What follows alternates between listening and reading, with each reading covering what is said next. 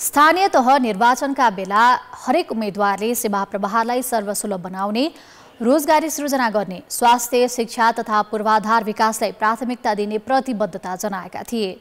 विजयी जनप्रतिनिधिले कार्यभार सम्हालेको पनि डेढ वर्ष बितिसकेको छ। यस अवधिमा उनीहरूले स्थानीय तहमा के कति गरे? नागरिकका अपेक्षा अनुसार काम गरे कि गरेनन्? हामीले स्थानीय तहका जनप्रतिनिधिको डेढ वर्ष कार्यकाल समीक्षा सुरु गरेका छौँ। यसै अन्तर्गत आज घामको पहिलो किरणले चुम्ने इलामको सूर्योदय नगरपालिकाको समीक्षा गर्दैछौँ। घामको पहिलो झुल्को पर्ने भएकोले सूर्योदय नाम पाएको यो नगरपालिका पर्यटन र कृषिको व्यवसायीकरणमा अग्रणी छ। निर्वाचनका बेला यहाँको प्रमुख मुद्दा पनि कृषि र पर्यटन बन्छ। गत वर्ष भएको स्थानीय तह निर्वाचनमा यहाँ गठबन्धनका तर्फबाट प्रमुखमा एकीकृत समाजवादी र उपप्रमुखमा नेपाली काङ्ग्रेसका उम्मेद्वार विजयी बने। चियाको राजधानीका रूपमा रहेको यो नगरपालिकामा चुनाव ताका उनीहरूले चियासहित कृषिलाई व्यावसायिक बनाउँदै रोजगारी सिर्जना गर्ने पर्यटनलाई जीविकोपार्जनसँग जोड्दै नगरको पूर्वाधार विकास अघि बढाउने बाचा गरेका थिए। तर कार्यभार सम्हालेको डेढ वर्ष पुरा भइसक्दा पनि जनप्रतिनिधिहरूले प्रतिबद्धता अनुसार काम नगरेको गुनासो मतदाताको छ। नगरपालिका आफैमा राम्रो चिज हो। तर अब यहाँनिर जनताको पक्षमा सुनवाई कुनै मतलब के अरे कुनै पनि क्षेत्रमा छैन। जस्तो किसान व्यापारी बिजनेस व्यवसायी यिनीहरूलाई चाहिँ खालि करको दायरामा ल्याउने मात्रै कोसिस गरिन्छ।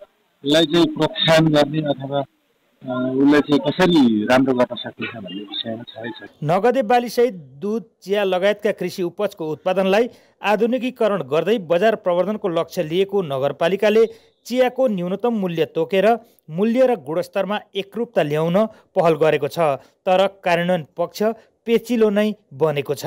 नगरपालिका के कमजोरी गरेछ भने चियालाई चारवटा सिजनमा रूपान्तर गरेर चियाको मूल्य तोकिदिएको थियो भने किसानहरू पनि मार्न पर्दैन थिए र उद्योगीहरू पनि मार्न पर्दैन जस्तो हाम्रो spring season summer season winter season autumn season चार सिजनमा चियाको मूल्य चारै प्रकारको तोकिदिएको थियो भने सूर्य नगरपालिकाभरिका चिया किसानहरू र यो नगरपालिकाभरि सञ्चालित चिया उद्योगीहरू पनि फाइदामा जाने थियो नगरका चौधवटै वडामा बाह्रै महिना यातायात सञ्चालन गर्ने गरी काम थालिए पनि पुरा हुन सकेको छैन। पर्यटन विकासका क्रममा श्रीअन्तु र कन्यामको वातावरणीय पक्षलाई ध्यान नदिएको आरोप पनि नगरपालिकाले खेपेको छ। नगरपालिकाले महत्त्वकाङ्क्षी योजना अघि सार्दा नागरिकको अपेक्षा अनुसार काम नभएको विपक्षी दलहरूको भनाइ छ। हाम्रो नगरपालिका चाहिँ अलिक महत्त्वकाङ्क्षी योजनाहरू लिएर अगाडि बढेकाले गर्दा नागरिकका आधारभूत आवश्यकताभित्र पर्ने योजनाहरू चाहिँ ओझेलमा पनि देखिन्छन् जस्तै कृषि सडकहरू ओझेलमा छन्।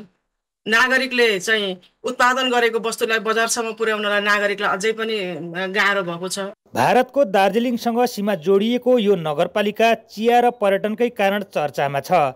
तर कङ्क्रिटका संरचना निर्माण बढ्दा मौलिकता मासिने हो कि भन्ने चिन्ता पनि उत्तिकै छ। नगरलाई चिर्ने मेची राजमार्ग र अन्य स्थानीय सडकको अवस्था अपेक्षा अनुरूप सुधार नहुँदा स्थानीयलाई शास्ति छ।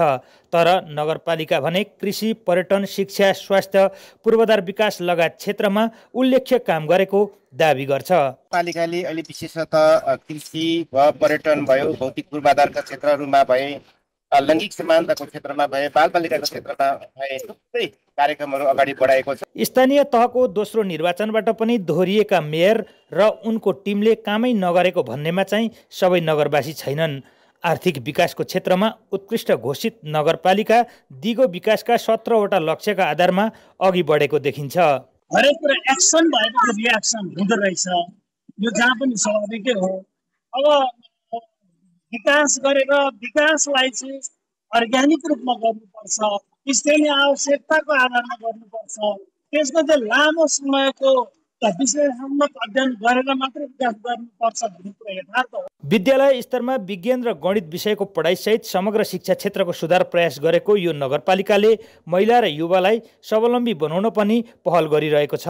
तर अथा सम्भावना भएर पनि अपेक्षा अनुसारको आर्थिक गतिविधि नबढ्नु स्थापित बजारहरूमा चहल पहल घट्दै जानु कृषि क्षेत्रको समग्र अवस्थामा उल्लेख्य सुधार हुन नसक्नु जस्ता कारणले जनप्रतिनिधिसँग स्थानीय अझै सन्तुष्ट भने बन्न सकेका छैनन्। कान्तिपुर समाचारका लागि विप्लव भट्टराई सूर्योदय नगरपालिका इलाम।